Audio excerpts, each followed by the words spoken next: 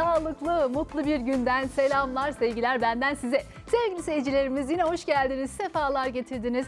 TRT Türk ekranlarında bizleri izliyorsunuz. Bir Sağlık Olsun programıyla yine buluştuk.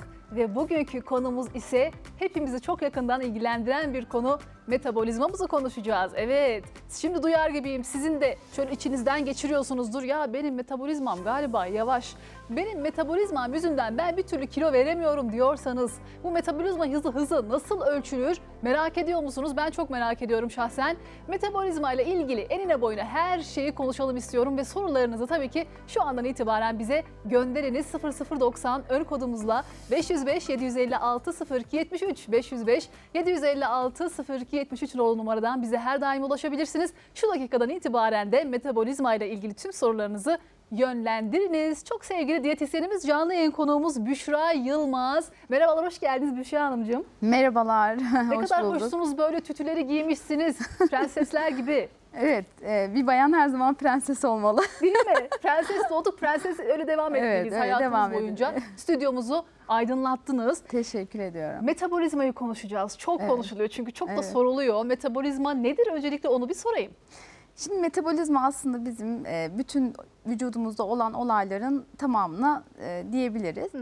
Yalnız metabolizmayı üç evrede inceliyoruz. Genellikle e, en önemlisi bazal metabolik hız ve herkesin aslında bildiği şey bizim bazal metabolik hızımız. Dinlenir pozisyondayken e, harcadığımız enerjiye e, deniliyor ve e, metabolizmamızın %70'ini oluşturuyor bu e, bazal metabolik hız.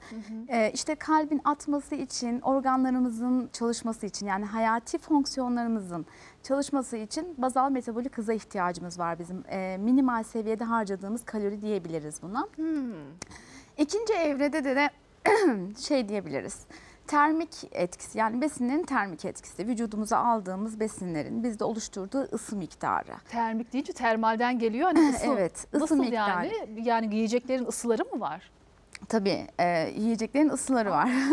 O ısılar da bizim metabolizmamızı etkiliyor. İlk mesela yemekten sonra bir saat içerisinde tap noktada e, seyrederken 4 saat sonra artık tamamıyla kayboluyor ortadan. E, besinleri yedikten sonra vücut bir ısı oluşturuyor onu yakmak için. Biz buna termik ısı diyoruz ve metabolizmamızın %10'unu oluşturuyor. Hmm, acı biber o zaman herhalde çok ısılı bir şey değil mi? Acı Evet, biber yediğimiz zaman evet. çünkü çok ısınıyoruz. Hatta Evet. terleyebiliyoruz bile. E, o, o evre gerçekten bambaşka. Metabolizmayı da çok güzel hızlandırıyor acı biber. O konuya değineceğim. E, daha en son evrede artık bizim böyle fiziksel aktivite hızı dediğimiz bir hız %20'si. Koşmak, yürümek, işte e, fiziksel aktivitelerimizde e, son evreyi oluşturuyor. Yani metabolizmayı genel anlamda böyle adlandırabiliriz. Anladım. Şimdi mesela diyoruz ya biz biraz metabolizmamı hızlandırayım. Akşam işte yoğurdun içine zerdeçal koyayım. Biraz ondan tüketeyim. İşte acı biber tüketeyim. Metabolizmam hızlansın veya spor yapayım. Metabolizmam hızlansın. Aynen. Diyorsanız sevgili seyircilerimiz sorularınız varsa metabolizma ile ilgili diyetisyenimiz burada tabii ki her türlü diyet sorularını da bize yönlendirebilirsiniz. Her yerden bekliyoruz mesajlarınızı. Hollanda, Almanya, Fransa, Belçika özellikle İsviçre yine Avrupa'dan çok fazla seyircilerimiz var. Hepsine selamlarımı, sevgilerimi gönderiyorum. Cansınız, can, can, can. Evet, metabolizma dedik. E, bütün esasında vücudumuzun fonksiyonel e, böyle bir bir gazı değil mi o metabolizma yani. çalıştıran bir sistem esasında. Tabii yani ben, benzin gibi düşünebiliriz. Benzin Arabaya benzin ya da yakıt e, gibi düşünebiliriz bunu. E, her şeyi oluşturuyor. Yani oturmak, yürümek, konuşmak bile bir metabolizmaya bağlı aktivite olarak değerlendirilebilir. Heyecanlandığımız zaman ki. mesela şimdi yayına çıkmadan önce herhangi bir biraz bir heyecan hissetmiş olabilirsiniz. Bu da bizim metabolizmamızı hızlandırabiliyor, etki edebiliyor. Evet, fiziksel aktivite bazında ilerliyor. Hmm, Peki. Peki metabolizmayı tahrip eden bir şeyler var mı? Yani mesela yediğimiz gıdalar metabolizmayı yavaşlatabilir mi, hızlandırabilir dedik. Mesela acı biber dediniz. Yavaşlatan gıdalar veya e, aktiviteler var mıdır? Evet maalesef yani şöyle e, metabolizmayı her şey yavaşlatabilir. Her şey e, hızlandırabileceği gibi e, aslında birkaç şey hızlandırabileceği gibi her şeyi yavaşlatabilir. E, bu evrede işte üzüntü, stres başlıca geliyor zaten. Besin etkisi de e, vücutta kimyasallarımız var bizim. Yani hani vücut kimyasını bozacak olan besinler maalesef vücudumuzun e, bu metabolik hızını yavaşlatıyor. Hangi Bunun- besinler bunlar mesela? E, bunlar hangi besin? Ambalajlı gıdalar. Ambalajlı gıdalar. Ambalajlı. Ambalaj içerisine girmiş gıdalar aslında metabolizmamızın kimyasını bozuyor. Hmm. Ee, bunun yanı sıra ne mesela başka ne adlandırabiliriz bu noktada? Şeker mesela çok e, kötü diye adlandırılıyor. İşte üç beyazlar, un, şeker, tuz. Bunlar biraz daha hastalık e, tetikleyici olarak geçiyor. E, ama metabolizmayı yavaşlatan etmenler arasında e, biz diyoruz ki en büyüğü üzüntü, stres, uykusuzluk, gece uykuları mesela. E, Vardiyalı çalışan bireylerde vardiyasız yapılan birçok araştırmada vardiyalı çalışan bireylerde vardiyasız çalışan bireyler arasında bir e, şey yapılıyor. Araştırma yapılıyor E, ve vardiyalı çalışan e, bireyler maalesef metabolizması biraz daha yavaşlıyor ve e, birçok hastalık riski de ortaya çıkmış oluyor bununla birlikte. Ama Uyku besin önemli değil mi? açısından bakacak olursak e, kimyamızı bozacak her şey aslında metabolizmamızı bozabilir. E, doğal beslenmek, organik beslenmek e, bununla birlikte e, hızlandırabilir. Peki sorularımız gelmeye başladı sevgili seyircilerimizden. Kereviz sapının ödem attığı ve zayıflattığı söyleniyor demiş. Bununla ilgili piyasada çok sayıda da kereviz yaprağı ve sapı tabletleri de satılıyor. Gerçekten kereviz yaprağı ve sapının kilo vermede bir faydası var mı? Hiç duymadım bunu daha önce. Kiraz sapını duydum ama her gün başka bir şey çıkıyor. Bir moda bir akım mıdır bu? Evet. Kereviz sapını hiç duydunuz mu? Ne diyorsunuz? Tabii tabii e, kereviz sapını kürlerimde kullanıyorum ben danışanlarıma. Aa. Ama bu işte kişiye özel olmalı. Yani diyet kişiye özel olacağı gibi bu kürler de kişiye özel olmalı. Hani e, hiçbir besin mucizevi etkiye sahip değil bunu bilin. E, işte ma hani geceleyin yatmadan önce zerdeçal, zencefil, e, biberi koyuyoruz, yiyoruz. İşte ben metabolizmam hızlansın. E, sizde bu konu çok güzel seyrederken e, A kişisinde çok kötü seyredebilir. E, bir şeyleri yaparken bir şeyleri bozmamak lazım. Bu yüzden tablet kullanmaya e, bu tarz şeyleri çünkü piyasa neyi istiyorsa bizi öyle yönlendiriyor. Bir ara altın çilek çıktı hatırlıyorsa eğer seyircilerimizde. İşte başka bir şeyler çıktı, başka bir şeyler çıktı derken Evet. şimdi kereviz sapı çıktı. Bunun Kereviz- tablet şekli de varmış. E, ben önermiyorum kesinlikle. Yani tabletin içerisine girmiş hiçbir besin. İşte ambalajlı gıda diyoruz ya. Metabolizmamızı biz bu, bu şekilde bozuyoruz. Kereviz sapını Nedir bu ambalajlı gıda? Yani mesela diyelim ki vit- vitamin takviyesi alıyoruz. Onları da tablet şeklinde alıyoruz. Bunlar da mı ambalajlı gıdaya Ee, giriyor? hayır, doktor tavsiyesi veya doktor kontrolünde kullanılan vitaminler değil. Ee, bunlar ambalajlı gıdaya girmiyor. Ama bir kereviz sapını biz evde kullanacakken e, bir tablet şeklinde almak yüksek miktarda e, kimyasala maruz kaldıktan sonra biz o kereviz sapını alıyoruz. Ama direkt kereviz sapını bence çorbalarda falan kullanılabilir yani. Hani Ambalajlı yani- gıdadan kastınız aslında mesela bisküviler, krakerler, hani Aynen, ambalajın içine aynen, paketlenmiş aynen, bir şekilde satılan aynen, ürünlerden aynen. bahsediyorsunuz. Makarna bile düşürüyor. Ambalajlı gıda. Makarna bile mi? evet. Ne süt- yapalım? Evde süt mi yapalım makarnamızı? Evet. Hamur açarak e, olabilir. Evet. Yani e, süt ve süt ürünlerine kadar. Şimdi mesela süt noktasında veya beyazlatıcı noktasında bir E katkı maddesi var. Dünya Sağlık Örgütü belli bir miktar kullanılmasına izin verdiği için e, Türkiye'de Dünya Sağlık Örgütü'ne göre şekilleniyor. Evet. E, baktığımızda o E katkı maddesi uzun vadede birçok hastalığa sebebiyet veriyor. O beyazlatıcı dediğimiz. E numaraları değil mi? Çok önemli. E, çok bir de önemli, kanserojen evet. de olabiliyor bunlar. Birçok hastalığın kapıdaki adı aslında bu katkı maddeleri. O yüzden ben diyorum ki her şeyi evde yapabiliriz. Yani bunu ben e, çevremdeki insanlara, hastalarıma, danışanlarıma herkese söylüyorum. Evet. Yani Evde yapabiliriz ya sıkıntı yok yani. Mantıyı Hani- açalım, eriştemizi kendimiz Aynen, yapalım, makarnamızı aynen. bile kendimiz yapabiliriz. Aynen. Maharetli ellerimiz var Aynen. değil mi? Çünkü o makarna özellikle? o şekilde gelene kadar birçok katkı maddesinden ve birçok işlemden geçiyor. Hmm. Ben aynı zamanda gıda teknikeriyim. Ee, Şimdi dolayısıyla ambalajlı gıdaların içerisine giren bütün e, e, katkı maddelerini biliyorum ve katkı Evet. maddelerinin vücuda ve metabolizmaya etkisi üzerine çok çalıştım. Ha, çok güzel. Ee, çok ondan dolayı önemli. biraz vakıfım Peki Büşra. Hanım şimdi biz diyoruz işte ne, ne var ki evde yap kendi kendine makarnanı aç işte böreğini aç ama çalışanlarımız ne yapacak? Vardiyalı çalışanlar onların da böyle bir sıkıntılı zamanı var. Evet. Akşam geliyorlar yorgun argın. Saat olmuş belki 9-10. Şimdi gelip de mantı açamaz değil mi? Evet, yorgun. evet. Onlar ne yapacak? Yani mecbur bir şekilde paketli gıdalara elimiz uzanıyor. Köylerde çok güzel yapıyorlar ya bu işi. Yani var. E, artık internet o kadar gelişti ki herkesin elinin Fazla altında. fazla yapıp belki buzluğa mı atmalı? Buzluk kurutulmuş şekilde saklanabilir. Ee, da- eğer hani hazır ürün olarak tüketilmesi istenmiyorsa e, bir yerden satın hani organik yapan bir yerden satın alınabilir. Ama yapmak istiyorsa da mesela e, bir günün tamamıyla onu ayırdıktan sonra şokla işte fırında şoklayıp E, buzluğa atanlar da var. Mantı özellikle içerisine et girdiği için buzlan hani buzlukta saklanmalı, muhafaza Evet. edilmeli. Ama erişte kurutulduktan sonra dolapta çok güzel muhafaza edilir ve bir iki yıl ömrü oluyor genelde. Harika. Evet sorularınız gelmeye devam ediyor. İyi günler Aslı Hanım demiş. Benim metabolizma durmuş şekilde her halde kilo veremiyorum. Şeker var, tansiyon var, depresyon ilaçları da kullanıyorum.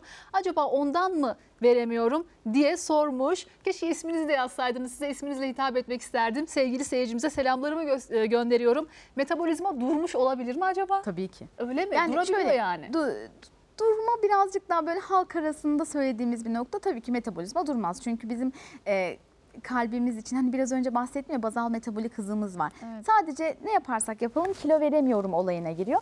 E, bu da şöyle bir e, açılımla ilerleyebilir. İşte metabolizmayı çok fazla kimyasallara maruz bıraktık. Çok fazla ambalajlı gıda tükettik. Belki hiç tüketmedik bilmiyorum. Evet. Ama yediğimiz herhangi bir besinden de metabolizma, e, o mikrobiyata dediğimiz probiyotikler, prebiyotikler ve simbiyotikler de bozulabilir. Hmm. E, bu bozulduğu için de yavaşlayabilir. İşte siz normal şartlarda 1200 kalorilik bir diyetle çok güzel kilo verebiliyordunuz.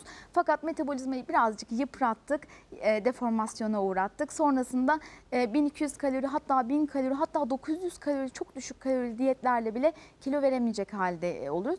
E, ben bu tarzda şeylere, e, kişilere mutlaka bir uzmandan yardım almalarını öneriyorum. Bu metabolizma hızı mesela ölçülebiliyor mu bir aletle? Tabii tabii yani ölçülebiliyor. Ee, hatta bizim okulda öğrendim tabii 10 yıl oldu. Ee, okulda öğrendiğimiz sistemle de ölçülebiliyor. Yaş yaşa göre değişiyor, boya göre değişiyor, cinsiyete göre değişiyor ve bazal metabolik hız.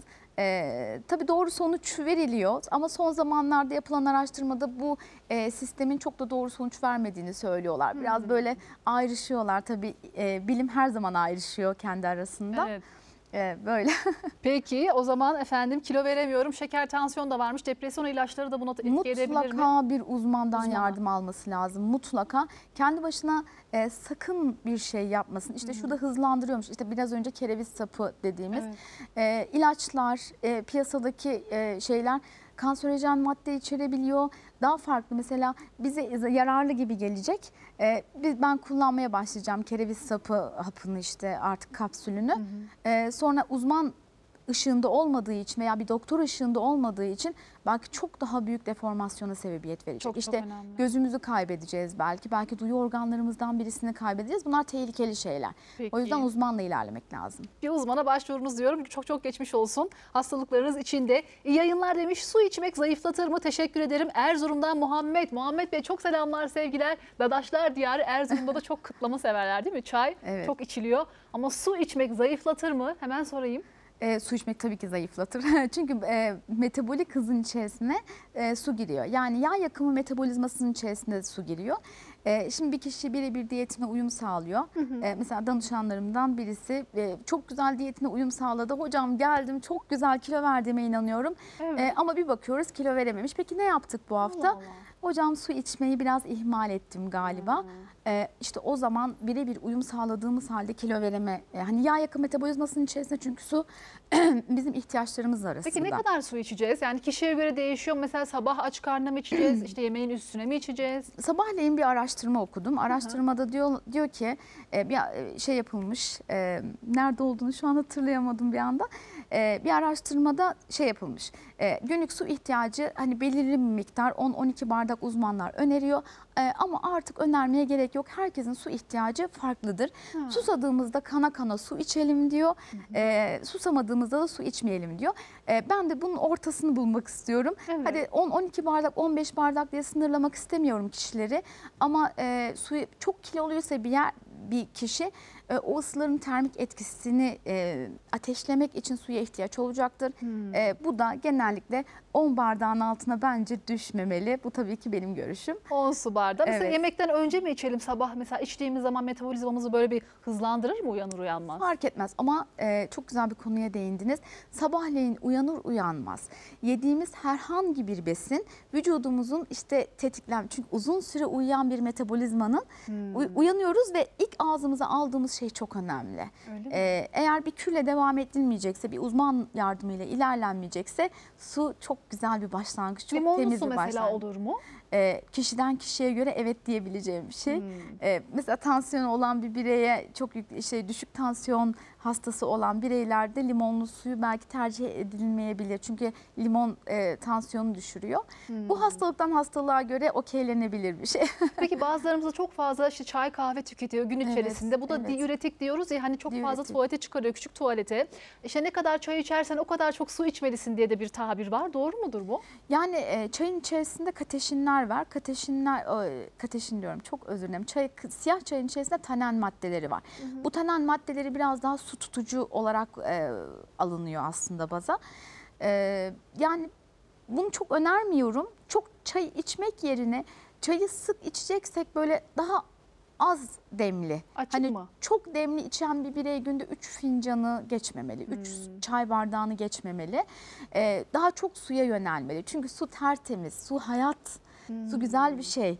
Ee, suyla barışık olmalıyız ya Bir de çaydan ziyade. Suyu içtikçe insan alışıyor. Yani e, Evet. suya alışkın olmayan bir insan ay zorlayarak içiyorum diyor, midem bulanıyor, içemiyorum diyor ama bir başlayın bir iki hafta. Ondan sonra siz artık kendinizden istemeye başlayacaksınız. Ben de çok suya takık bir insanım. Çok fazla içiyorum belki de kiloma e, göre ama seviyorum. Su, su hayattır diyoruz ve sorularımızla devam ediyoruz sevgili seyircilerimler. Evet ne demiş? Merhabalar Aslanım iyi yayınlar demiş. Teşekkür ediyorum canım benim. Ben Ankara Oran'dan Beste 40. Bize çok yakınsınız. Çok selamlar Beste Hanımcığım. Yakınımız görüyor Evet. musunuz komşumuz? Tatlı krizlerini önlerken metabolizmamızı hızlandırabileceğimiz bir tarif var mı acaba? Bu arada ailecek severek izliyoruz. Başarılarınızın devamını diliyorum demiş. Çok çok teşekkür ediyorum. Sağ olun var olun. İyi ki varsınız. Tatlı krizlerini önlemek için hem de Tarçın. metabolizmamızı şöyle ateşleyecek, fişekleyecek bir tarif. Tarçın. Tarçın. İnanılmaz güzel bir şey Aa. ya tarçın. Ee, tarçınlı tatlılar mesela havuç. e, glisemik indeks dediğimiz bir olay var. E, vücuda aldığımız besinin bizim kan şekerimize olan etkisi glisemik indeks. Hmm. Glisemik indeksi çok böyle yükseltmeyen aslında daha e, şey böyle hurma topları yapıyorlar. E, içerisine Evet. tarçın katın mesela. Hmm. E, işte bir havuç topu yapıyorlar içerisine tarçın katın. Hem metabolizmamız hızlanır hem de tatlı yemiş oluruz. Hmm. E, bir yandan da o tatlı krizlerini eğer çok öne- ön- önleyemiyorsak mesela diyelim ki e, ben bir tepsi kadar e, hurma topu yaptım tarçınlı ama yedikçe yiyorum yedikçe yiyorum E, mutlaka e, bir tarçınlı su yapın kendinize Hmm. e, tarçınlı suyla birlikte tüketmeye özen gösterin.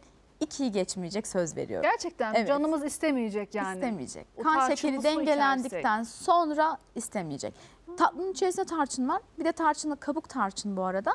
Bahsettiğim tarçın. Evet. Kabuk tarçının içerisinde böyle bir su. Hatta biz küçükken şey yapardı annem. Tarçın çok mucizevi bir besindi. Ee, ve şey böyle şifalı bitkiler kitabı vardı. Annem çok severdi onu karıştırmayı. Ben de çok severdim ki mesleğimin bence temeli o şifalı bitkilerden geldi. Değil mi? Ee, annem bir yerde işte o şifalı bitkilerde okumuş. Çayın alt suyuna kabuk tarçın atardı. Sinüzite iyi geliyor. Antidepresan etkisi var mesela. Antioksidan seviyesi yüksek. Kan şekerini dengeliyor. Evet. Biz bir müddet böyle tarçınlı su falan içtik. Şey tarçınlı çay falan içtik evde. Ay ne güzel. Çok Şeker da- hastaları mesela onları da rahat rahat tüketebilir mi? Rahat ya zaten şeker hastalarına çok öneriyorum ben bu konuyu biraz. Güzel. Şey- kan Şeker. şekerini dengeliyor Çünkü yani. denge hemen böyle düş düşecekken e, yükseltmiyor ama o dengede tutma evresi hani çok düşürmeme evresini Zaten sütlaç gibi Sağlıyor. böyle sütlü tatlılarımıza biz tarçını ekliyoruz yani. Onun da demek Osmanlı- bir sebebi var değil mi? Evet Osmanlı bu konuda gelen. çok zekiymiş. Evet. Yani çok da güzelmiş. Gerçekten ilmi bilmi mutfağında yaşayan bir e, şey devlet. Kesinlikle. E, çok tatlıların üzerine tarçın dökerlermiş, zerdeçal dökerlermiş. Ki, Tarçına devam diyorsunuz. evet. Harika. Güzelmiş. Peki tarçını şimdi bir de kış aylarındayız ya salepe de çok güzel yakışıyor. Evde salep yapabiliriz değil mi? Sütlü, nişastalı bayılırım. Bir de güzel Evet. güzel. Çok kalorili mi acaba salep? E, tabii nişasta giriyor içerisine. E, muskat giriyordu galiba. Muskat da e, muskatta kalori Koyan yok var, da. koymayan da var. E, Hı hı. muskatta kalori yok. Çünkü bir baharat çeşidi ama nişasta tabii ki şeker giriyor, nişasta giriyor. Bunlar birazcık, kalorili. Birazcık ama Ee, çok akşam akşama vakitleri- bırakmamak içiyoruz. lazım. Yani son kalorili e, besinlerimizi 8'den sonra hayır hele kışın. Hmm. Çünkü kışın gün ışığını çok böyle e, az evrede alıyoruz. Kısa sürede alıyoruz.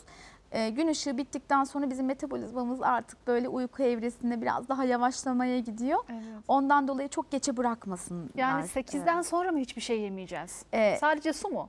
bence evet. Öyle Yeşil çay, siyah çay, su çok kalorili bir şeyler olmaması gerekiyor 8'den sonra kış ayları için bu arada. Yaz aylarında bu saat değişebilir tabii. Peki sorularımıza devam edelim. Merhabalar Aslı kızım demiş Gent'ten seyrediyorum programını diyor. Çok çok teşekkür ediyorum. Ee, böyle bir ablamız sanki böyle hissettim.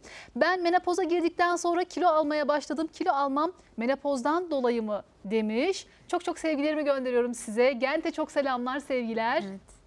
Ee, evet maalesef e, menopoza girme evresi metabolizmamızı birazcık yavaşlatıyor. Hatta eğer e, doğru zamanda doğru şekilde müdahale etmezsek e, durdurabiliyor ve hızlı bir şekilde işte e, kilo alımına sebebiyet veriyor. E, bu süreçte e, yine diyorum hep uzmana yönlendiriyorum. E, uzman yardımıyla ilerlenmesi lazım. E, bir çünkü ortada aslında e, karşılaşacağımız bir e, şey var, hastalık var. Hastalık Evet. demeyeyim de doğal süreci hastalık haline çevirme durumu var ve metabolizmayı bu evre yavaşlatıyor. Yani hmm, Çünkü menopoz. e, menopoza giren hanımlardan çok fazla terleme, aşırı sıcak basmaları oluyor. Hormon sanki orada değişikliği. hormon değişikliğinden dolayı sanki metabolizma daha hızlanır gibi düşünüyorum ben. Hani terliyorsun böyle bir sıcak basmalar ama alakası yok. Duradabilir yani. durabilir. metabolizma. E, çünkü aslında vücuttan biz genç kızken e, bir şeyler atıyoruz ve hızlı bir şekilde e, atıyoruz. Daha dinamik, daha termik yani e, besinlerin ısılarını daha termik bir şekilde alabiliyoruz. Daha e, güzel bir şekilde alırken yaş geçtikçe ya e, şöyle düşünün. İnsan 30'undan sonra bile e, çok değişebiliyor Hep duyuyoruz ya bu metabolizması. 30'undan sonra metabolizmam yavaşladı işte 30'undan sonra hadi ver bakalım kiloları verebiliyorsan bir 30'u gör de diye söyleyenler var. Gerçek. Yaşadım. Gerçek mi? Bunu yaşadım evet gerçek. Yani eskiden hiç kilo almazdım ama 30'dan sonra artık dikkat etmek zorunda kaldım mesela. Allah Allah. Ee, bayağıdır da dikkat ediyorum kendime. Normalde eskiden hiç dikkat etmezdim. Hemen yakardı falan. İşte 40'tan sonra çok daha farklı, 50'den sonra çok daha farklı, 60'tan sonra çok daha farklı. Bir de bunun içerisine menopoz giriyor. Ee, metabolizma Siz yavaşlıyor. de yalnız genç gösteriyorsunuz. 20'lerin başında gibi duruyorsunuz. 30 vesaire diyorsunuz da ben o günleri geçirdim gibi. Maşallahınız var. Ya evet. E, milyon. Beslenmeye mi bağlıyorsunuz bunu yoksa? Ee, evet ben çok uzun yıllardır ambalajlı gıda tüketimine e, biraz paydos dedim. Mesafeli bakıyorum. Tüketsem de e, daha farklı. Mesela biraz daha böyle gıda katkı maddesi az giren besinleri tercih etmek gibi. Daha Okuyorsunuz yararlı. değil mi? Arkada ambalajda neler yazıyor diye. Evet besin e, yani ambalaj okuma çok önemli zaten. Ee, özellikle sertifikalara alacağınız ürünün sertifikalarına bakmak. Nelere bakıyorsunuz mesela? Biz de bakalım bundan sonra bari biraz daha. Benim en önemli baktığım şey helal sertifika. Evet. E, helal sertifikalı gıdalarda genellikle insan metabolizmasına veya insan sağlığına zararlı gelebilecek olan e, şeyleri daha minimalize ediyorlar. Daha minimal seviyede tutuyorlar. Avrupa'dan da bizi seyreden seyircilerimiz olduğu için helal sertifika çok önemli oluyor. Orada çünkü bakılıyor bu durumlara. Evet, Onun için çok evet. önemli söylediğiniz. E, helal sertifikası varsa benim için biraz daha o tamam o zaman belki alabilirim e, olayına giriyor. Evet. Ama normal şartlarda tabii ki ambalajlı gıdaların hiçbirisini önermiyorum. Hı hı. Ee, ama ille de tüketmek zorundaysa helal sertifika, arkaya oku işte besinin saklama koşulları olsun, e, tüketim tarihi olsun, içerisindeki protein miktarları, lif oranları, katkı maddeleri neler? Peki o katkı maddeleri bize ne etki ediyor? Evet. Ee, onlara bir bakmak lazım. İçinde Çünkü neler var değil evet, mi? hastalıklar buradan e, yola çıkıyor. Biz bize uygun olmayanı aslında tüketerek e, önemli bir kısmını bozmuş oluyoruz. Peki Büşra Hanımcığım. Devam ediyoruz sorularınızla efendim. İyi yayınlar Aslı Hanım demiş. Teşekkür ediyorum. Tuğba ben demiş. Tuğba Hanımcığım çok selamlar sevgiler. Benim özellikle regil döneminde diyor çok fazla ödemim oluyor. Su içmenin ve spor yapmanın dışında yapabileceğim şeyler var mı diye sormak istiyorum. Teşekkür ederim. Bu arada enerjiniz çok güzel. Kalp emojisi de koymuş. Çok teşekkürler. Bakın kalbimi size gönderiyorum. Canım benim Tuğba Hanımcığım sağ olun var olun. Soralım. Evet. Ee, bu dönemlerdeyken yani e, bayanların mens dönemi dediğimiz dönemdeyken e, bayanlara en önemli şey yapacağımız şekerli besinlerden uzak durun. Evet biraz zor. Tam o dönemde canımız çekebilir Evet, çünkü değil mi? Evet biraz zor. İşte o tarçın mevzusuna girebiliriz burada kan şekerini dengelemek için. Ee, daha güzel böyle yeşil çaya yönelme, e, kiraz sapı, ada çayı. Tabii ki bu da e, kişide rahatsızlık yoksa parantez açmak istiyorum. Hani bu herkese uygun bir e, besin değil çünkü. İşte yeşil çay evet herkese uygun ama bazen geliyor benim tansiyonumu düşürüyor diyor. Bazıları geliyor benim tansiyonumu yükseltiyor diyor. Bunu bir çözmek lazım. Kişinin kendini dinlemesi lazım verdiğim şeyler, Peki öneriler. dinliyoruz kendimizi. Canımız çikolata çekiyor. Yani hiçbir çikolata yemeyelim. Özellikle bu özel durumlarda. Ee, tarifler var. Böyle birçok sayfada Bol bol tarif var. Evde çikolata yapma. O kadar güzel çikolata oluyor ki evde. Hatta böyle Hmm. Gerçekten mi? tabletler de satılıyor. Yani şey olarak böyle e, çikolatayı bir evreden geçiriyorsunuz. Sonra o tablete döküyorsunuz. Bildiğiniz tablet çikolata oluyor dümdüz. E, evde yapabiliriz. Ha, evde yapamıyorsak hemen böyle üç hurma, bir incir, işte bir kuru kayısı, kuru meyveleri ıslatın. E, robottan geçirin, blenderdan. Hemen böyle top haline getirip kakaoya bulayın. Ay. Efsane bir tat. İşte Çok çikolata. Bitti. Evdeyiz. Gerçekten bu tarif böyle bir 5 dakikayı, 6 dakikayı e, Bulmuyor. almıyor. Bulmuyor ya. Harika. O zaman deniyoruz bundan böyle hurmayı değil mi? Ondan sonra Hurma, kuru kayısıları, inciri, kuru incir bu şekilde e, kakao batırarak top haline tüketebiliriz. İyi yayınlar diliyorum demiş. Merhabalar demiş. Ordu Ünye'den ziraat mühendisi Fatma Çalık. Fatma Hanımcığım çok selamlar sevgiler. Ordu'nun dereleri aksa yukarı aksa değil mi? Güzel bir türkümüz var. Konunuz diyor konuğunuz çok güzel demiş. Ambalajlı gıdalara dikkat çektiğiniz için çok teşekkür ederim diyor. Gıdaları çilekli yoğurt değil çilek ve yoğurt, elma suyu Evet. değil elma, sarımsak tablet değil sarımsak gibi örnekleri çoğaltabiliriz demiş. Bunu yapmak için inanın köyde yaşamaya gerek yok. Bir Evet. kanser hikayesi yaşamış bir kardeşiniz olarak söylüyorum. O gıdaları zehir olarak görürseniz yeme yemez ve yedirmezsiniz. Ben de yağ yakıcı bitkiler ve bu konudaki önerilerini merak ediyorum. Keyifle sizleri takip ediyorum. Selamlar demiş. Fatma Çalık, Fatma Hanımcığım çok çok geçmiş olsun. Ne Evet. kadar güçlüsünüz. Bir hastalık atlatmışsınız. Evlerden Irak diyorum. Bundan böyle demek ki daha da bir bilinçleniyorsunuz ve ziraat mühendisi olduğu için de Evet. e, tablet şeklinde değil de işte elma suyu değil de elmanın kendisini, sarımsağın kendisini yemekte Evet. çok büyük bir fayda olduğunu söylüyor. Çünkü termik etkiden bahsetmiştim ya termik etkide meyve suyu yerine meyve yemek metabolizmayı hızlandırıyor. Evet. Yani birden depo etmek yerine vücut çalışıyor. Diyor ki benim bunu sindirmem lazım. Hadi bakalım çalışmaya. O kadar muhteşem bir yapıya sahibiz ki inanın hazır ürünlere ihtiyacımız yok. Evet. Vücudumuza aldığımız her organik besin işte bir elma suyu yerine elma yemek gibi e, vücudumuz böyle tıkır tıkır tıkır e, işliyor. Çünkü zaten fıtrat olarak böyle yaratıldık. değil mi? Ee, şöyle düşünün. Ben e, ambalajlı gıdaları şu açıdan bakıyorum veya işte o kimyasallara. Ee, şimdi bir tahta masa e, diyelim ki e, bir fıtrata sahip değil mi? Bir mizaca sahip. Tabii. Ben e, geldim tahtaya ateş tuttum. Ateş de bir mizaca sahip. Ne oldu? Tahta yandı bitti. Gerçekten Kül kül, oldu. oldu. Peki ne ateş olarak kalabildi ne de tahta olarak kalabildi. Ben bu masayı bir daha kullanabildim mi? Hayır. Evet. Ee, işte bizim bağırsaklarımız da böyle. Biz oraya Hmm. ateş tutuyoruz kimya bu kimyasalları vücudumuza Evet, alarak. Çok Ee, ateşi şey. tuttuk sonra çalışsın. Onların sistematik bir özelliği var. Yani e, bunun da en güzel örneği hani metabolizmamıza etkisi yani ambalajlı gıdaların metabolizmamıza etkisi de e, böyle açıklanabilir. Peki. Demek ki o zaman çakmağı şu an hatırlıyoruz efendim. Ambalajlı ürünlerle çakmağı kendimiz çakıyoruz diyor ve bağırsaklarımızda bir yangın, enflamasyon ortaya çıkartıyoruz. Aynen. Konuşmamıza devam edeceğiz. Sevgili Büşra Yılmaz'la diyetisyenimiz canlı yayın konuğumuz. Şimdi çok kısa bir araya gidiyoruz. 1-2 dakikalık bir ara. Ardından hemen buradayız. Siz sorularınızı bize yönlendirmeye devam ediniz. 0090 505 756 0273 görüşmek üzere.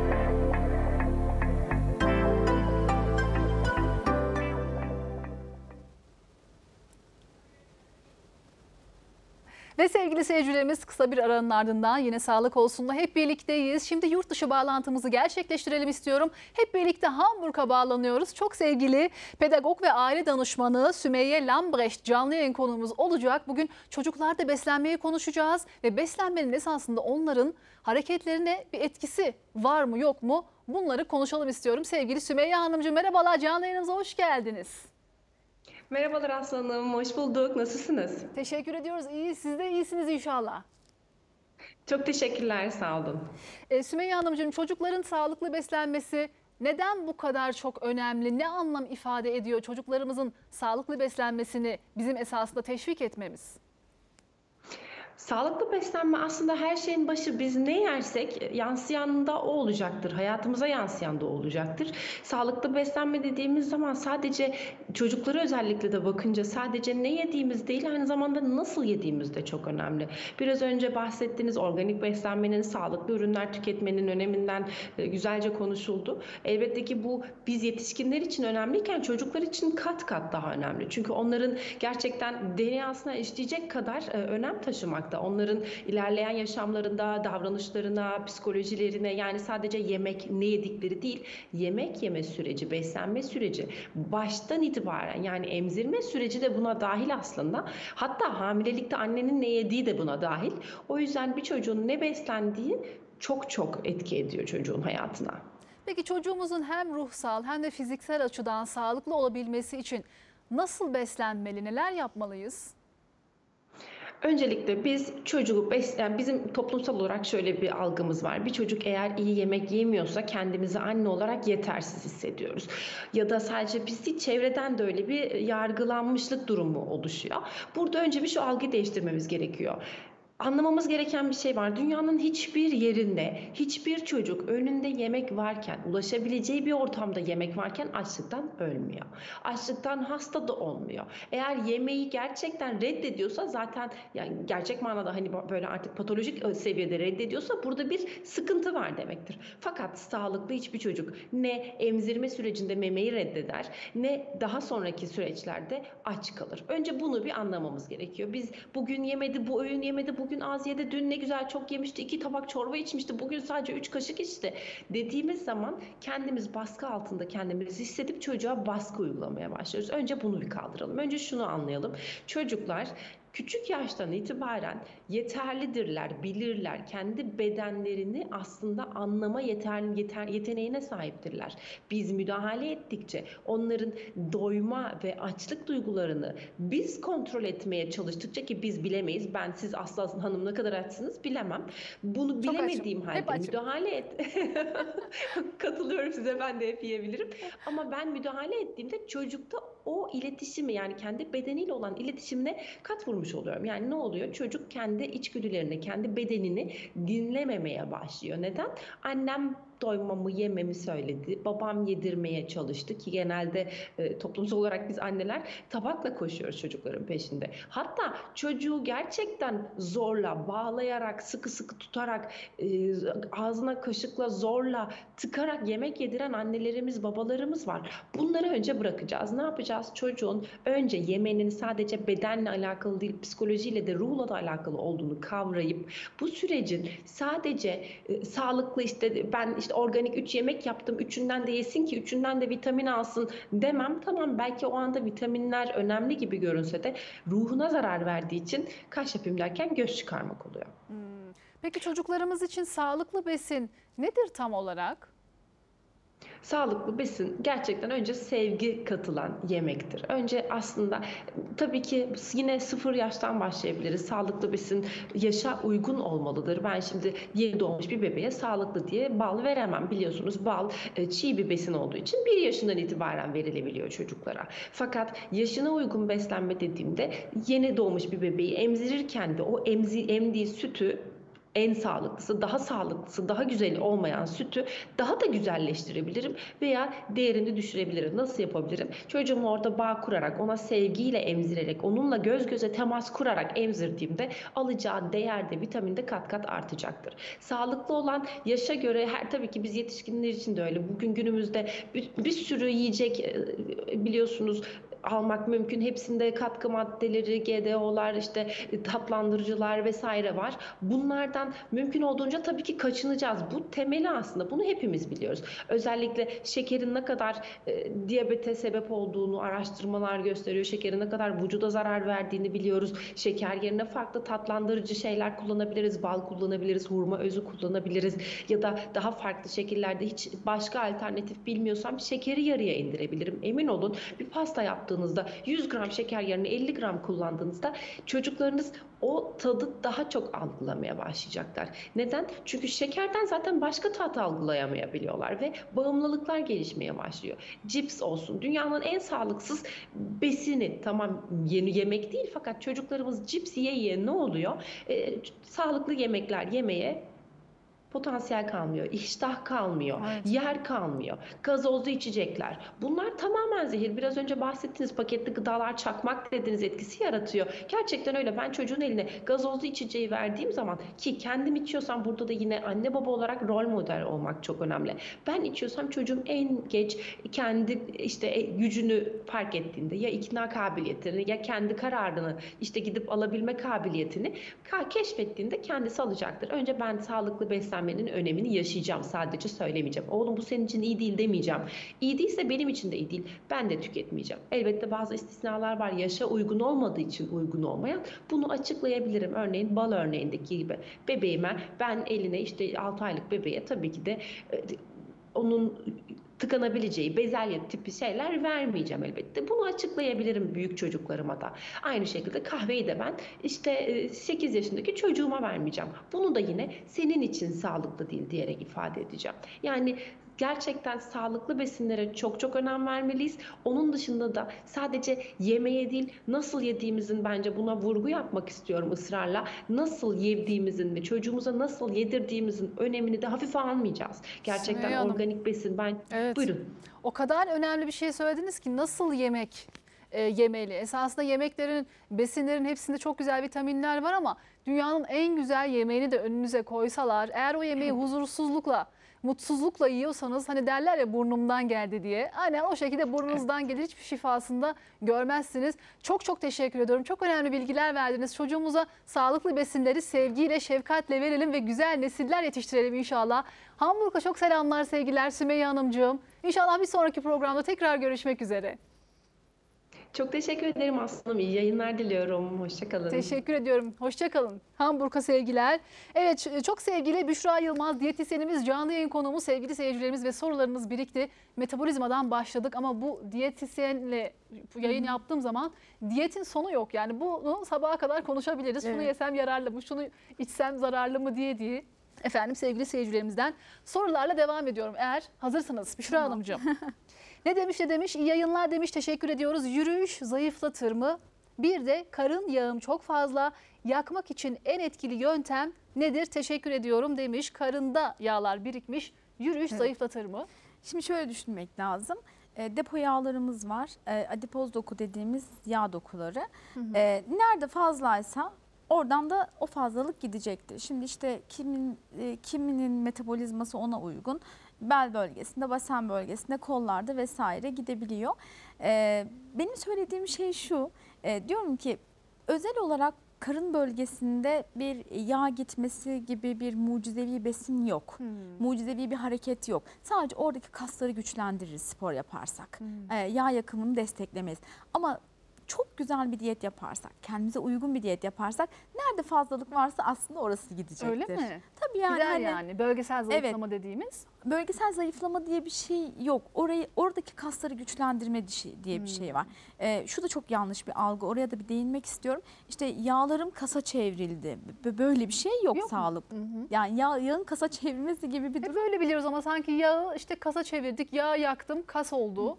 Bu evet güzel. Yağ yaktım kas e, oldu. Bu güzel bir terim. Ama yağım kasa çevrildi olayı bambaşka bir şey. Yani çünkü Yağ kas eriyor. bambaşka. Yağ eriyor gidiyor. Yağ hayatımızdan gidiyor. Yani ben e, şey diyorum.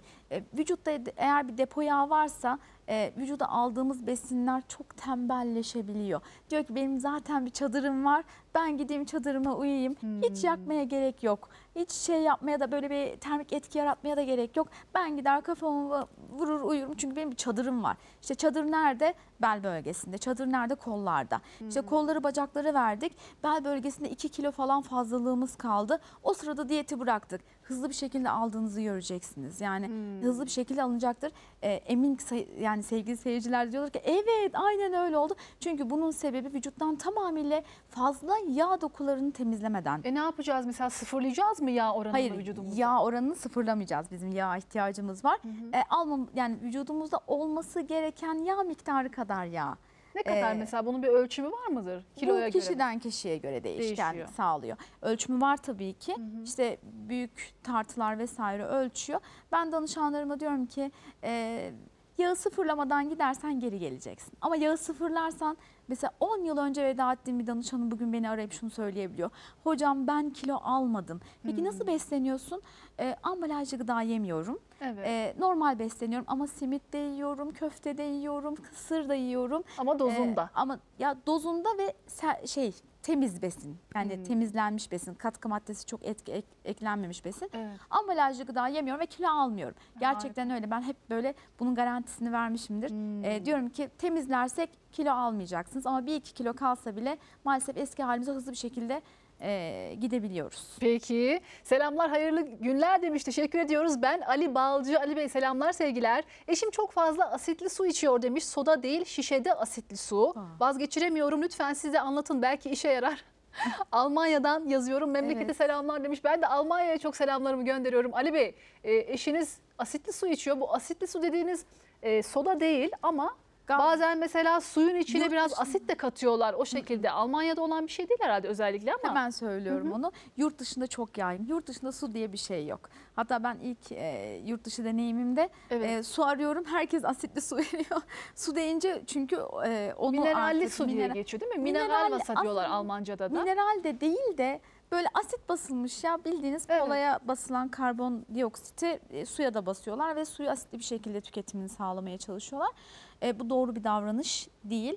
E, bizi suyu saf olarak lazım bize. Su saf olarak bize etki edecek. Onun içerisinde de kimyasal giriyor. Öyle düşünmek lazım. Hı. O suyun içerisinde kimyasal girdiği için bizim metabolizmamızı bozuyor. Dolayısıyla istemesek de kilo alımını sağlıyor. Mesela asitli su şöyle bir etkisi olduğunu ben e, anlayabiliyorum esasında eşinizin Ali Bey. Yani yemeği yedim hazmedeyim biraz asitli su içeyim hemen böyle bir iki de e, gaz çıkarıyoruz giyeriyoruz mesela oh rahatladım diyoruz. Sanki sindirdim diye böyle bir daha bir kolaylaşıyor ama tam tersi bir etki oluyor esasında. Ee, ya ambalajlı gıda alıyoruz vücudumuza. En basit örneği o çakmağı çakıyoruz.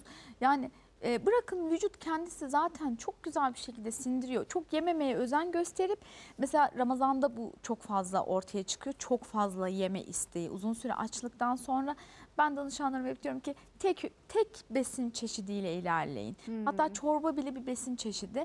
E, uzun süre açlık sonrasında tek besin. Çok yiyen birisi ise tek çeşit yemek yapacak. Tek yemeği oturup yiyecek. Yiyecek. iki Pirinç. tabak yiyebilir. Ha. Pirinç yanında pirinç pilavı da yiyebilir mesela ama tek çeşit yemek olacak. 3-4 çeşit yemek olmayacak. Evet olmayacak. Ee, onu da böyle işte çok yedim hadi hazımsızlık olsun. Maden maden suyu evet çok Maden güzel. suyu nasıl tüketmeliyiz? Yani Maden her gün içsek suyunu- mesela bir zararı olur mu bize? Hayır ya günde 2-3'e kadar iyi. Günde hastalığı üç. yoksa, kişinin hastalığı yoksa altını çiziyorum. Kişinin bir rahatsızlığı yoksa, normal bir tansiyona sahipse, normal bir bireyse günde 2-3'e kadar bile çıkabilir. Ben danışanlarıma öneriyorum mineralli su çünkü çok fazla mineral var içerisinde. Genelde yemekten sonra tüketiyoruz. Doğru mudur? Ee, herhangi bir etkisi yok. Hı. Çünkü mide midem küçüldü. Midem büyüdü. Midem şöyle. Mide küçülüp büyüyecek bir organ değil bu arada. Öyle mi? Yani Bazen yemek küçüldüğünü bile- hissediyoruz ama O ne biliyor ne musunuz? oluyor? Hormonlar, hormonların etkisi. Grelin hormonu dediğimiz açlık hormonunun daha dengeli olarak salınması sonucu. Yani leptin hormonu tokluk hormonu olarak geçiyor. Dengeli beslenmeye başladığımızda leptin hormonu çok güzel salınım sağlıyor. Çünkü 2-3 saatte bir besleniyoruz ya hani mesela böyle aralıklı olarak besleniyoruz. Sürekli beyne diyoruz ki sen toksun, sen toksun. Sonra önümüzde ya ben eskiden bu masanın hepsini yerdim. Evet. Ama şu an yemiyorum midem küçülmüş. Hayır aslında diyet yaptığın için e, leptin hormonu yani tokluk hormonu sürekli beyine sinyal veriyor. Sen çok toksun bunun yarısından fazlasını yiyemezsin ya O da zaman, çeyreğinden ha. fazlasını yiyemezsin. Bu leptin hormonu o zaman faydalı bir şey. Yani onu aktive etmek için hormonlarımız o zaman iyi mi çalışıyor demek oluyor? evet, Eğer tokluk evet. hissediyorsak gün Evet, içerisinde. evet. Diyette zaten az ve sık beslenme olayı o leptin hormonunun salgılanmasını sağlamak. Bunu dışarıdan alabiliyor muyuz bu hormonu? Ben Hayır. leptin biraz alayım da tok hissedeyim. Yok, e, çok zararlı. Dışarıdan hormon almak çok çok zararlı. İnsülin Hmm. dışında çok önerilecek bir şey değil. Bir de yediğimiz besinler de bizi tok tutuyor ya. Mesela sabah yumurta yediğimiz zaman kahvaltıda Protein. bütün gün ben tok hissediyorum kendimi. Akşama kadar acıkmıyorum mesela. Protein çünkü. Protein çok güzel tok tutma özelliğine sahip. Ayrıca protein e, metabolizmayı da çok hızlandırıyor. Hele ki kahvaltıda. Şimdi geçenlerde bir e, e, şeyde bir ortamda konuşuyoruz. İşte yumurta yediğimde aynı sizin gibi söylediler. Uzun süre e, bir şekilde tok tutma olayına girdi. E, diyorum ki protein aldığınız için. Çünkü proteinde hem tokluk seviyesi yüksek oluyor hem mutluluk aslında serotonin salgılanıyor. E, Öyle mi? Evet protein alınca ser- serotonin e, salgılanıyor. Sadece biraz daha geç gidiyor. Yani şeker çok hızlı beyine gittiği için biz, Biz çikolata tatlıdan- yediğimizde Evet, evet, zannediyoruz ama zannediyoruz. protein hem de metabolizmayı o e, Hmm. besinin termik etkisi dediğimiz olayı çok güzel ortaya çıkartıyor. Peki hemen şunu da Ondan sorayım dolayı. o zaman. Kahvaltı yapalım mı yapmayalım mı? Yıllardır bu tartışılıyor. Evet. İşte sabah 9'da kalktım 9.30'da kahvaltı yemeliyim mi? Çünkü bazılarımız da kahvaltıyı hiç sevmiyor. Yani ben aç değilim, hiç tokum, ağzıma bir lokma bir şey alamıyorum diyenler var. Siz ne düşünüyorsunuz bununla ilgili? Ben kişiden kişiye göre değişeceğini düşünüyorum bu durumun. Ama kahvaltı günün en önemli öğünü. Özellikle Öyle mi? metabolizmanın çalışması için çok önemli. Çünkü protein yani protein derken yumurtanın içerisindeki protein örnek protein. Hmm. Dünyada başka hiçbir proteinin içerisinde yok o örnek protein çeşidi. Dolayısıyla yumurta önemli. Yumurtayı bir şekilde krep bir şekilde böyle çeşitlendirerek yumurtayı hiç sevmeyen bireyler için söylüyorum. Bir şekilde çeşitlendirerek tüketmek lazım. Kahvaltısız güne başlamak metabolizmanın yavaşlamasını sağlıyor. Hani dedik ya %70'lik oranı bazal metabolik hız.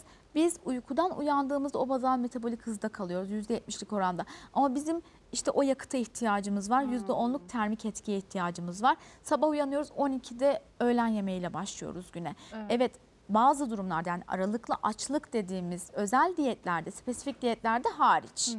Ee, ama normal bir beslenme sisteminde kahvaltısız ne çocuklarda ne yetişkinlerde okula gitme ya da işe başlama durumları olmamalı. Hmm, Peki mesela yumurtayı bazen sarısını sadece yiyenler var, bazen Evet, evet, beyazını evet. yiyenler var. Birlikte mi yemek daha iyidir yumurtayı? Birlikte her zaman yemek daha iyidir. Çok fazla abartmadan çünkü e, sarısında kolesterol çok fazla. Beyazında da albümin değeri yüksek. E, çok abartmadan hepsini birlikte yiyebilir. Eğer haftada iki gün haşlanmada sarısını yiyorsa haftada üç gün tamamını omlet tarzında yapıp yiyebilir. Peki sevgili seyircilerimizden sorular akıyor adeta. Meyve tüketimi kaç porsiyon olmalı diyor. Ne sıklıkla olmalı? Çeşit çeşit mi yenmeli yoksa daha çok tavsiye ettiğiniz meyve veya sebzeler var mı? Özellikle karaciğer yağlanması ve kilolu insanlar için teşekkür ederim. İyi yayınlar. Erzurum'dan Muhammed Sucu çok selamlar demiş. Bize çok selamlarımızı gönderiyoruz. Erzurum'a Muhammed Sucu Bey ve tüm Sucu ailesine. Evet. Evet, meyve tek tüketimi. bir besin e, yani bu hani karaciğer yağlanmasını geçirir tabii ki diyemiyoruz. E, şöyle yapabiliriz. Bu karaciğer yağlanmasında Akdeniz tipi beslenme çok güzel. Zeytinyağlı Araştırmalar. yemekler. Zeytinyağlı yemekler, enginar, kereviz. Evet işte küçükken de çok böyle şey vardı. Biz kereviz yemeyiz diye e, tekerlemeler falan da söylerdik. Nasıl alıştırdılarsa diyorum Evet. büyüyünce fark ettim bunu. Kereviz çok faydalı, enginar çok faydalı, işte kuşkonmaz çok faydalı. Bunları bir kere ayçiçek yağından zeytinyağına geçiş yapmak zorunluluğu var karaciğer yağlanmasında. Tereyağı mesela tüketemiyorlar mı? Ee, yok ya bö- böyle hani kolesterol seviyesi yüksekse eğer tereyağı hani süt ve süt ürünleri böyle çok kolesterolü yükseltecek yağlar değil.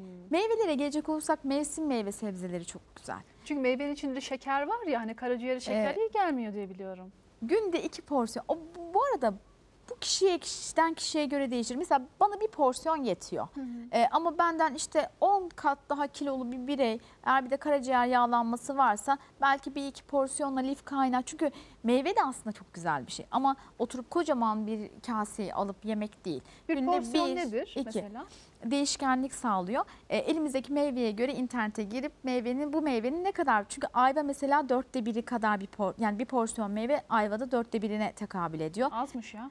Evet ayvada ama elmada bir orta boy böyle avuç içi kadar olacak şekilde. Küçük elma. Ee, küçük elma böyle avuç içimizi dolduracak bir porsiyon meyve. Mandalina mesela iki tane genellikle portakal bir tane Ee, gibi gibi çeşitlendirilebilir ama kıştaysak kış meyveleri fıtratımızı bozmayalım. Dışarıdan e, gelebilecek olan besinleri yemek yerine hangi fıtrattaysak hangi e, Mevsimdeysek. mevsimdeysek o fıtrata uygun beslenmeliyiz. Peki. Merhabalar demiş ben Kayseri'den Zeliha. Zeliha Hanımcığım Kayseri'ye çok selamlar sevgiler. Kayseri'nin de pastırmasına bayılıyoruz tabii ki. 3 ay oldu diyor diyet yapıyorum bir uzmandan desteği aldım diyor. 4 kilo iyi gitti 2 aydır gitmiyor. Neden acaba? Uyu- uyguluyorum da demiş anlamadım. Sevgi ve saygılar sunarım hayırlı yayınlar demiş ve böyle ağlamaklı bir emoji yollamış. Aa. Ağlamayın siz Zeliha Hanımcığım o kilolar da gider olsun. Fazla olan şey kilomuz olsun değil mi? Mutluluğunuz daim olsun inşallah. Amin, amin. Ee, ben şöyle, benim bir danışan, mesela bazı danışanlarım var. Bir yıldır kilo veremiyoruz. Aynı Aa. sistemde devam ediyor. Birçok spesifik diyet uygulamama rağmen e, ilerleyemedik. Bir yılda bir yılda hep aynı. Neden? Şimdi bazen e, metabolizma durdu zannediyoruz. İşte uzmanlar hani bir uzmandan yardım ediyorum ama yapıyorum ama olmuyor. Bazen hayatımızı değiştirmemiz lazım. Hmm. İşte sabahleyin e, kalkıp kendimizi zorlayıp zorlayıp bir spor yapmamız lazım Hı hı. mesela. Bir aktivitemizi değiştirmemiz lazım. Düşük karbonhidratlı besinlerden uzak durmamız lazım. Yani şöyle Vücudu şaşırtacağız yani. şaşırtacağız bunu uzmanla sağlayacağız. Hı hı. Bir de düşük kalorili diyetler yapmayın. Yani e, birçok diyetisyen arkadaşım hepsine selamlarımı söylüyorum. E, bilinçsiz bir şekilde e, yayınlayabiliyorlar diyet listelerini. Hı hı. E, ben buna birazcık karşıyım. Çünkü e, karbonhidratsız beslenme vücutta metabolizmayı olumsuz yönde etkiliyor. Hı Düşük kalorili diyetler vücutta yine olumsuz etki yaratabiliyor. Hastalıkların habercisi olabiliyor. Kişiye özel beslenme her zaman olmalı. Evet. Ha olmuyorsa e, ben kendi danışanımı gönderebiliyorum. Diyorum ki e, hadi başka bir diyetisyene yönlenebilirsin. Belki bana çok alıştın o yüzden kilo veremiyorsun. Siz de uzmanınızı değiştirebilirsiniz. O her yiğidin yoğurt yiyişi farklıdır. Doğru. E, bir uzmandan sonuç alamıyorsanız bir uzman başka, Başka, bir, uzmana gitsin o zaman sevgili gidebilir. seyircimiz. İyi yayınlar aslanım demiş. Teşekkür ediyoruz. Tatlı diyarının başkenti Gaziantep'ten yazıyorum diyor. peh peh peh. İnsülin direnci olanlar nasıl beslenmeli? Hocamıza selamlar demiş. Gaziantep'te yaşayıp da baklava yemeden olur mu? Evet. Nasıl olacak insülin direnci olanlardan? İnsülin direnci olanlar bir kere en başta Akdeniz tipi beslenme biraz önce de söyledim. Her hastalığın tedavisinde kullanılıyor Ee, Evet. ve günlük karbon işte benim diyabetim var asla ağzıma şey sürmüyorum işte e, ekmek sürmüyorum bu çok yanlış bir şey. Hmm. Ekmeksiz olur mu? Ekmeksiz kan şekerimizin dengesini oluşturamayız. Somon ekmeği mi mesela beyaz böyle güzel Hayır, güzel yarısını değil. yesek olur mu? Beyaz değil, esmer. Esmer. Esmerlerin içerisine ne giriyorsa tam budar, tam tahıl vesaire.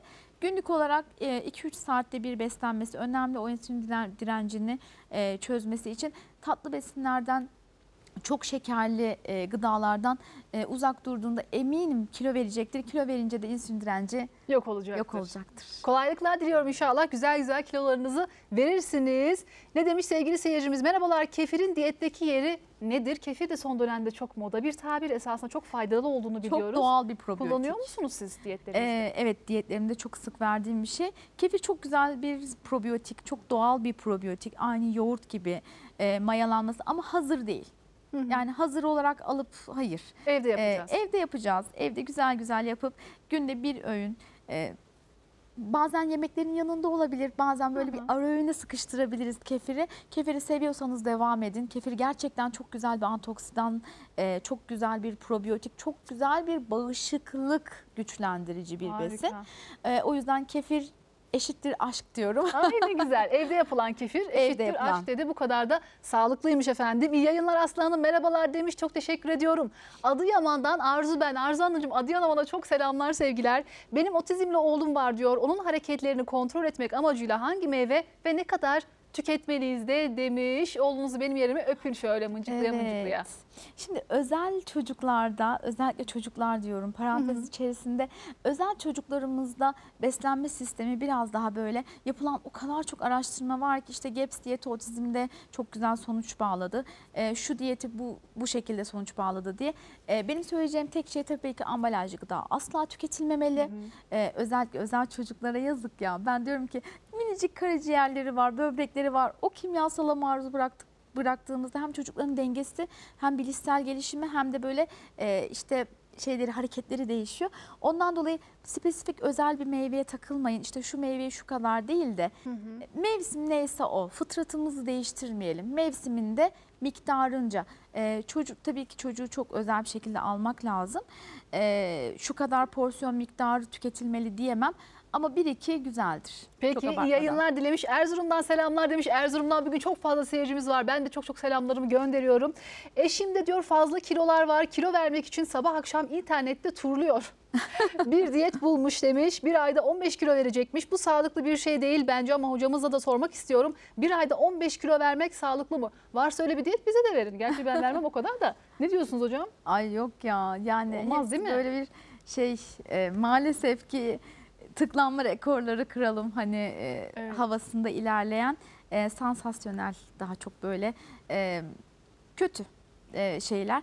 Sakın uygulamayın, İnanmasınlar. inanmayın. E, uzman ya. Bir uzman o kadar çok uzman kaynıyor ki her yer. Sağınız uzman, solunuz uzman. Ulaşabileceğiniz uzman sayısı eminim çok fazladır.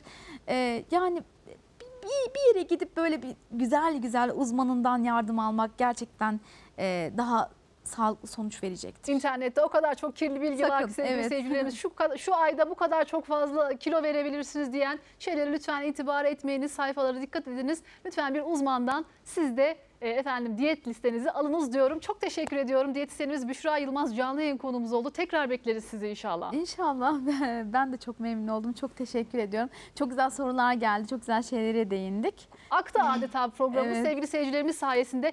Tekrar hak- hakkınızı helal edin. Hep söylüyorum. Bütün soruları soramadım. Çok fazla soru geldi. İnşallah yine başka bir programda hepinizin sorularını sormaya niyet edelim efendim. Yarın biz yine burada olacağız. Yarına dek kendinize çok çok iyi bakın. Sağlıkla ve mutlulukla kalın. Hoşça kalın.